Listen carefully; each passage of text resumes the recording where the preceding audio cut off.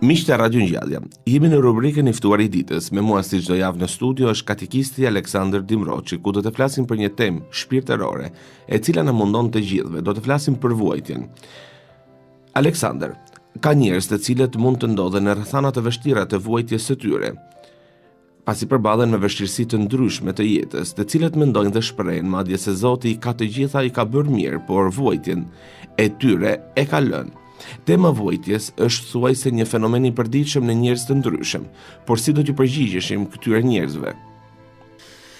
Në fakt, vuajtja është një dukuri e përgjithshme dhe njerëzore.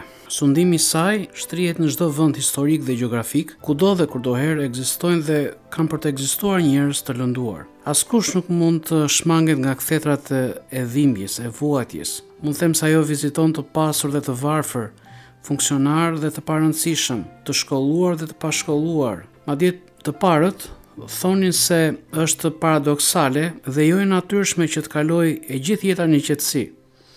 Por gjithashtu dhe Zoti në ungjill tek uh, ungjilli sipas Joanit na paralajmëron se në botë do të kemi mundime. Që kur njeriu i parë nuk respektoi dhe u rebelua kundër Perëndisë, tek gjinia njerëzore u trashëgua vuajtja. Jeta si parajsë e njerëzve të parë u ndërpre dhe e keqa morale, mëkati, solli si pasojë të pashmangshme të keqen e natyrshme, pra vuajtjen dhe më pas edhe vdekjen. Solli vuajtjen me format e saj të natyrshme. Kemi për shembull vuajtjen trupore, e cila mundon trupin tonë dhe krijon dhimbje të ndryshme indirekte privime, varfëri e të tjera. Kemi vuajtjen shpirtërore që vjen nga vdekja me gjithë pasojat e saj. Kemi të mbeturit jetim për shembull ose të vejat nga fatkeqësi të ndryshme ose kemi vuajtje që na vijnë nga martesa të dështuara, nga braktisja e miqve, e të afërmve, nga zhgënjime. Kemi gjithashtu dhe vuajtje morale. Këtë lloj vuajtje e shkakton mëkati, e keqa morale, e keqja që na shkaktojnë të tjerët dhe që na dëmtojnë, siç është padrejtësia, shpifjet, përndjekjet me forma të ndryshme e të tjera të tjera. Gjithashtu, e keqja që shkaktojmë ne vetë, pra vetë mëkati ynë, na sjell një vuajtje, një vuajtje shpirtërore. Kur neve rrëzohemi në tundime, kur këto mëkate, aq më tepër, janë dhe mëkate të mëdha ose mëkate të vdekshme, janë këto mëkate që sjellin vuajtje, trazim të ndërgjegjes sonë, edhe një dhimbje të vazhdueshme shpirtërore. Kjo ndarje në llojet e vuajtjeve që sapo folëm nuk është absolute, sepse në disa raste edhe vuajtja trupore, për shembull, dhe ajo shpirtërore shpesh gërshetohen dhe provokojnë njëra-tjetrën. Për shembull nga përvoja e Jovit që kemi në Dhiatën e vjetër, Jovi ishte i shumëvuajtur edhe e shpreh këtë të vërtetë në mënyrë koncize, duke thënë: "Vallë, a s'është luftë mbi tokë jeta e njeriut." Përpara këtij realiteti të vuajtjes, njeriu qëndron me shumë pyetje dhe me shumë dilema. Përse vallë të ndodhin të vijnë vuajtje në jetë, të vijnë dhimbje në jetë, ato që thamë më lart. Aleksandër, pasi folëm për vuajtjen, le të themi diçka nga përditshmëria e saj. Le të kalojmë në përvojat e hidhura njerëzore që na shkakton vuajtja. Cili është qëllimi i vuajtjes? Përse ajo e shoqëron njeriun përgjatë gjithë jetës së saj? Qëllimi i vuajtjes është pedagogjik. Së pari, njeriu edhe pas rënies së tij, siç përmendëm më lart, mbetet prapë objekt i dashurisë së Perëndisë, i cili si një at i dhembshur, si një baba i urtë, përdor tashmë vuajtjen si një mjet pedagogjik, që në këtë mënyrë të risjellë njeriun e rënë në nderin dhe lavdinë e mëparshme. Kështu vuajtja dhe pasoja e mëkatit bëhet ilaç për shërimin e shpirtit të sëmurë nga mëkati. Një shembull klasik është djali plangprishës. Pa atë uri, siç na thotë Ungjilli, Pa atë stallën e derrave atje ku ai përfundoi, djali plangprishës nuk do ta kujtonte shtëpinë e atit të tij. I goditur nga varfëria, nga braktisja, nga përbuzja, pa miq, i zhgënjyer dhe i vetëm në vendin e huaj, ai erdhi në vete, siç na thotë dhe Ungjilli, dhe mori rrugën e kthimit. Ose ndërhyrja pedagogjike e Perëndisë për të cilën po flasim, me anë të një dëshpërimi, na çliron nga lodhjet e kotësisë tokësore dhe na shtyn në kërkim të ngushëllimit hyjnor, na lidh, si të thuash, më tepër me Perëndinë, më tepër me lutjen. Është si ai rasti kur fëmija ndodhet në rrezik, braktis lodrat, ëmbëlsirat dhe vrapon me sa të ketë në krahët e nënës ose të babait të tij. Ose kemi rastin nga Ungjilli sipas Mateut e gjejmë këtë, kur apostull Petro ndjeu erën e fortë dhe filloi të zhytej dhe thirri, o Zot, shpëtomë. Pra, pedagogjia nëpërmjet vuajtjes na bën që t'i bindemi vullnetit të Perëndisë. Siç thotë dhe profeti Isaia, Zoti Perëndi më hapi veshin, nuk kundërshtova, nuk u zbrapsa. Ose, siç thotë edhe Davidi tek psalmi i tij, ditën e shtrëngesës sime kërkova Zotin. Por gjithashtu edhe nga ana logjike arrijmë të kuptojmë se dhimbja ose vuajtja janë roje të shëndetit tonë. Dhimbja për shembull na lajmëron në kohë që të shmangim ndonjë rrezik që vjen. Nëse nuk do të kishim dhimbje, atëherë do të vdisim edhe nga një apandisit i vogël. E njëjta gjë vlen edhe për çdo lloj sëmundje për të siguruar dhe fituar shëndetin e shpirtit. Dhimbja është shenjë e rrezikut pra është ajo që na zgjon dhe na sjell në vete. Por përveç përfundimit korrigjues, vuajtja kontribon edhe që të bëhemi pjesëtarë të shenjtërisë së Zotit. Siç thotë dhe apostulli në letrën drejtuar hebrenjve, që të bëhemi pjesëtarë të shenjtërisë së tij. Na intereson vuajtja sepse na prin në shenjtërinë dhe përsosmërinë tonë morale. Nga shkalla e vuajtjes dolën në fakt shenjtorët më të dëgjuar. U sprovuan dhe nëpërmjet vuajtjes u treguan se Zoti sprovon zemrat. Nëse jeta jonë do të ishte gjithnjë një diell, do të ishte një shkretëtirë, thotë një proverb. Ose kur plugu i mprehtë çan dheun, atëherë toka jep frytet e saj. Ose kemi rastin kur ari digjet shumë, atëherë jep gjithë shkëlqimin e tij. Ose kemi livanin mbi zjarr, që aromatizon. Për të qëndisur përdoren jo vetëm penjëra me, si thua, me ngjyrë të hapur, por edhe ato me ngjyrë të errët, sepse kështu modeli duket edhe më i bukur. Nëpërmjet provave të vuajtjes që kalojmë, zemra jonë forcohet në durim dhe në trimëri dhe ngjitet me krahë të shpejtë në lartësitë e shenjtërisë. Ngasjet ose tundimet janë si erëra që detyrojnë pemën që t'i fusë rrënjët gjithnjë e më thellë më thellë në tokë për të qëndruar sa më e fortë. Ose vuajtjen mund ta krahasojmë me atë çfarë dalta heq nga mermeri i papunuar i skulptorit, ose si ajo bisturia e kirurgut për të shpëtuar jetën e të sëmurit, e cila Të dhemb, të djeg në shpirt, por ama ajo bisturi, ajo operacion, ajo ndërhyrje e dhimbshme, ajo të shpëton. Ose vuajtja është si ajo gërshëra e, e krasitësit, i cili për të prodhuar pema, fruta më të mira dhe më të ëmbla, e krasit pemën. Gjithashtu, dobitë e vuajtjes dhe dhimbjes në jetën tonë ka të bëjë me atë që kjo gjë na mban në përulësi. Siç thotë edhe Shën Joan Gojarti, vuajtja thotë ai përbën mundësinë që secili të përulet dhe të njohë veten. Një tjetër atlet në ushtrimet e ndryshme të vuajtjes, siç ishte edhe apostulli i kombeve, Shën Pavli shkruan me thjeshtësi në letrën e dytë të Korinthianëve, kur thotë: "M'u dha një gjemb në mish, që të mos mbahem me të madh. Pra, Perëndia lejon vuajtjen, varfërinë, mbetjen jetim, të gjithë llojet e dëshpërimeve, të zhgënjimeve, në mënyrë që njeriu të kuptojë vogëlsinë e tij dhe të mos vlerësojë veten e tij më shumë se sa duhet.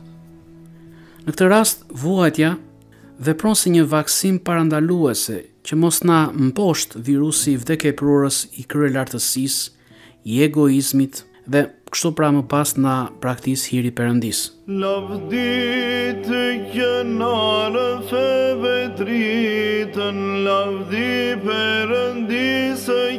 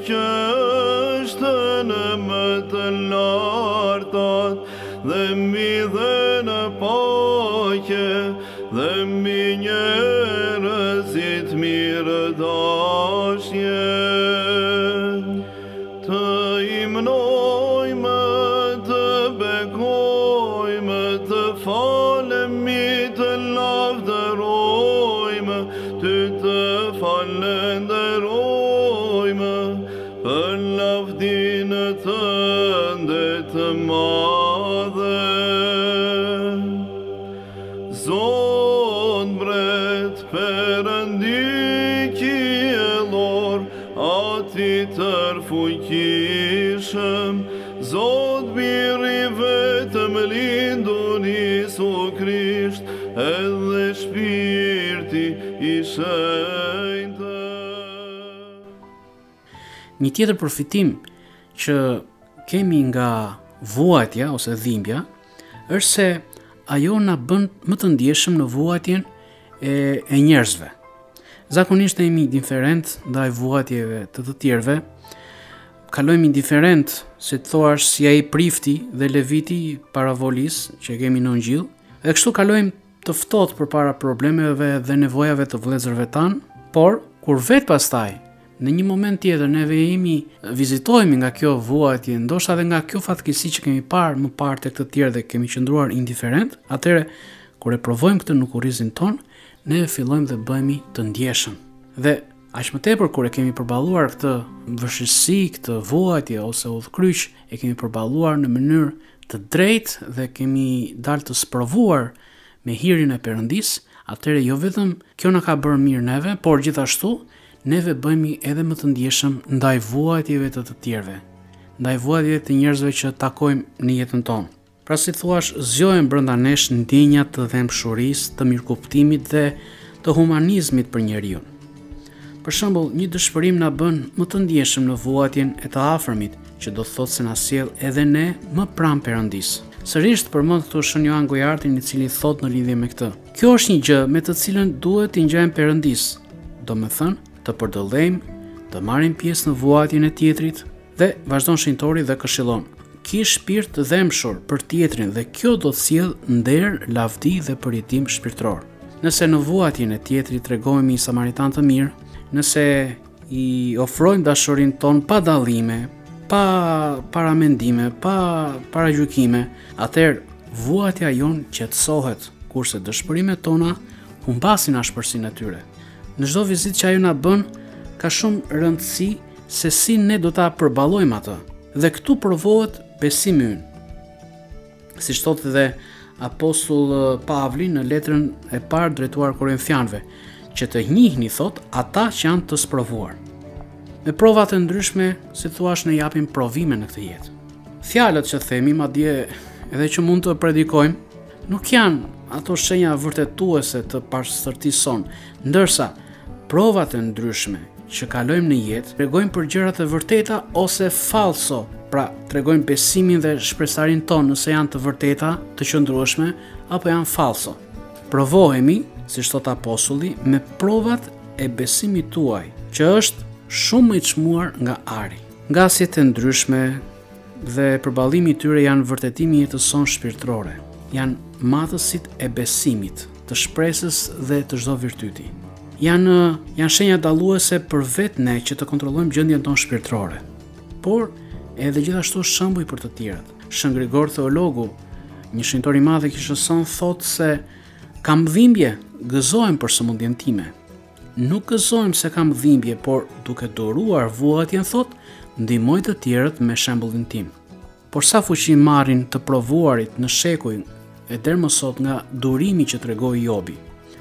Kush nuk mund të marrë shembull nga babai i shumë fëmijëve siç ishte Jobi, i cili ishte shumë i pasur, i shëndetshëm, i lavdëruar, që më pas i provuar nga i ligu me lejen e Perëndisë, i provuar besimi i tij, ai u gjend mbi pleh, pa fëmijë, pa miq, i sëmurë, i përbuzur, me një grua pranë tij që i shtonte vuajtjen Megjithatë, kësaj situate të papritur që i erdhi në jetë, ai iu përgjigj provokimeve të miqve të tij me anë të besimit të tij të patundur tek Perëndia, duke thënë Zoti i ka dhënë, si ka dashur Zoti, ashtu u bëftë, qoftë i bekuar emri i Zotit.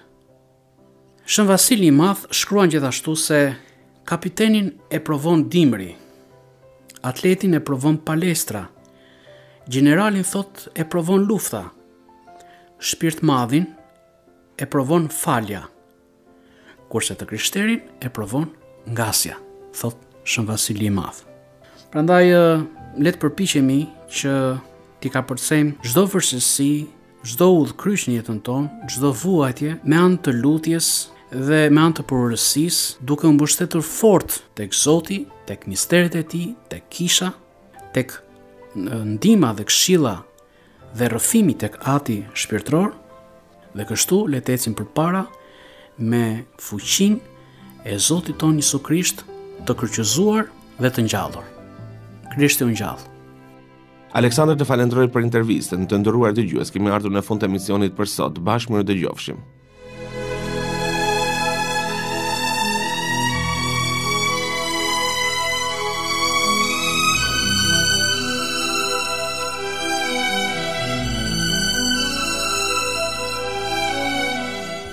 Ndoqët të ftuarin e ditës.